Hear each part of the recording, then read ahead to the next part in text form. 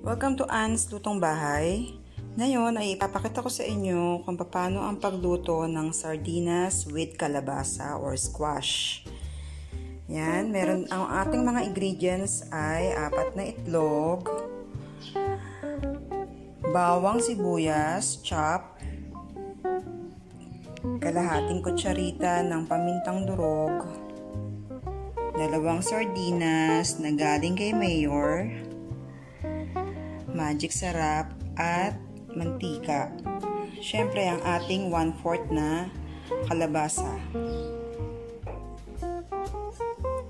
Now, sisimulan na natin ang ating pagluto.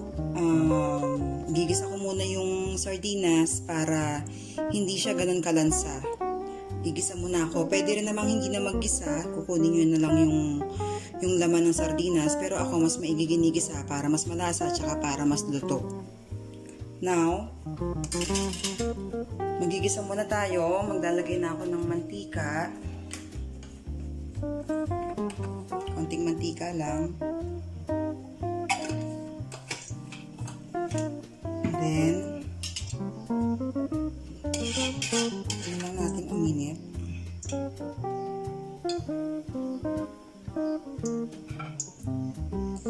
Ito yung ulam na affordable. Kasi yung ginamit ko rin is uh, yung binigay ni Mayor na quarantine food na sardinas. Yan, so medyo mainit na siya. Lagay na natin ang first, syempre, sibuyas.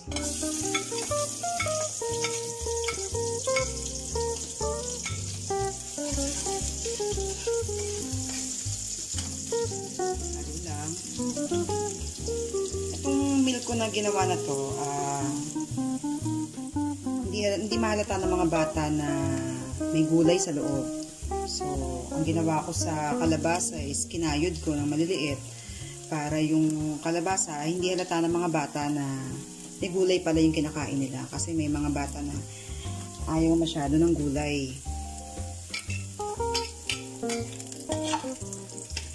Bawang. Hindi lang medyo mag golden brown.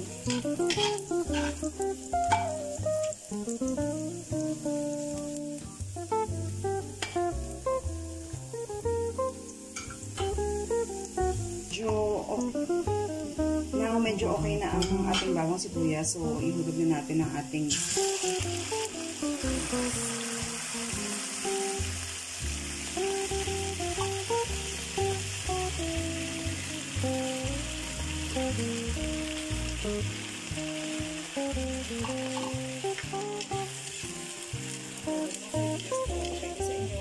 kayong kakain, pwede nyo lagdagan yung sardinas nyo, lagdagan nyo na rin yung inyong bawang sibuyas. Ako kasi yung bawang sibuyas ko, is sakto lang para dito.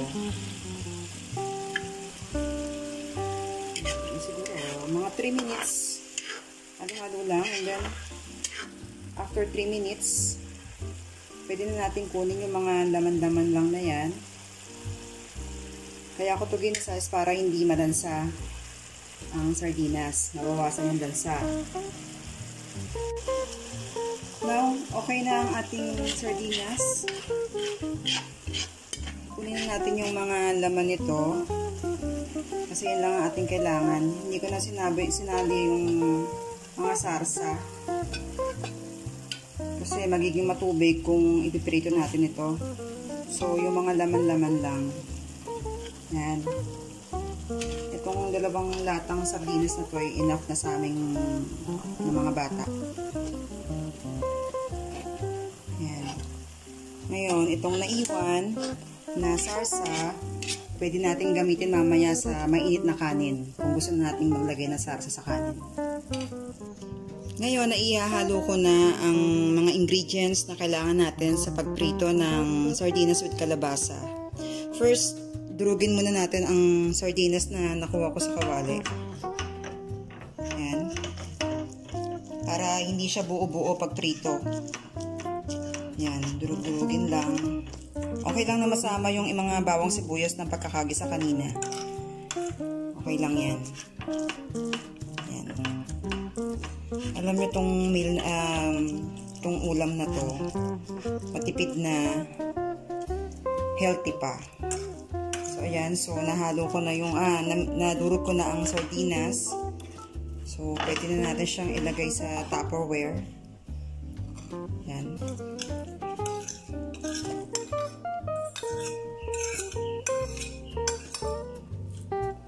Yung ating kalabasa next. Yan. Uh, kinayod ko siya. Ayan, para maninipis. Pwede rin yung gamitin yung pangkayod ng keso. Pangkayod ng melon ginamit. No need na steam ang ano ha, ang kalabasa. Pwede na yung kayurin ng hilaw. Kasi maluluto rin naman yan pag prito mo. Next, ang ating itlog. Depende kung gusto ninyong dagdagan ng itlog o ang inyong kalabasa. Depende nga kung kayo ay marami sa pamilya nakakain. Ating paminta. Pwedeng mas konti, pwedeng mas marami. Kung ayaw ng kids na maraming paminta, pwede ninyong bawasan.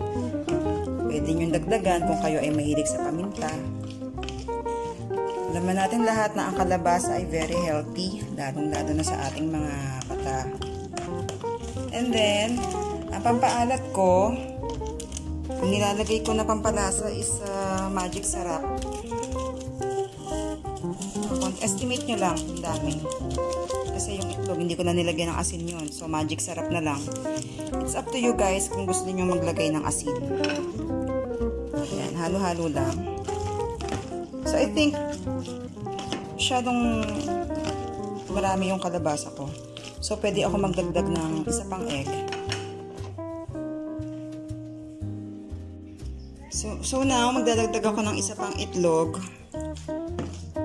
Yan, kasi medyo dry kanina. So, yan. Tama na yung consistency ng kalabasa sa itlog. Ano lang, para yung magic sarap, uh, maglasa ron sa kabuuan ng mga ingredients. After nito, pwede nyo nang iprito. Now, mag-start na tayo mag-fry. Painitin ng ating kawali. Then, add, add ang oil.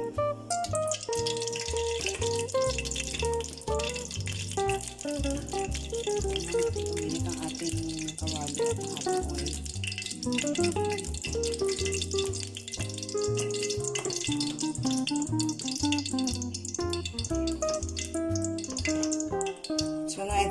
Ready na yan. So pwede na tayo maglagay ng single single size for one person.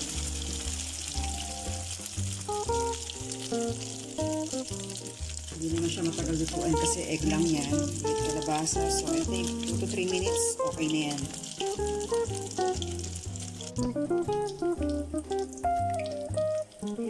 After 2 minutes, balik na rin natin.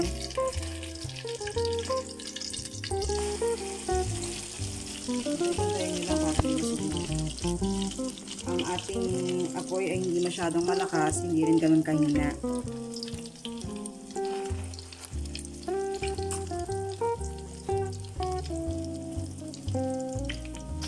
Now, after 3 to 4 minutes, okay, okay na ang ating ano, ating first na nilagay. So, yan.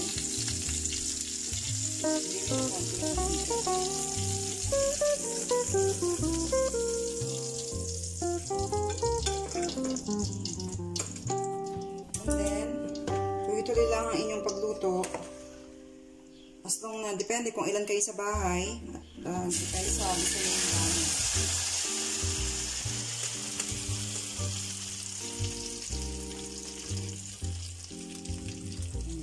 Wait for 2 to 3 minutes.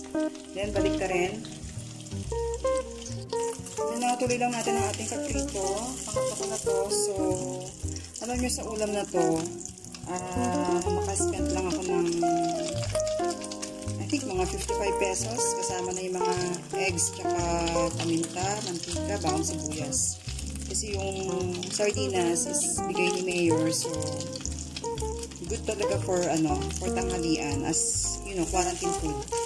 Very affordable.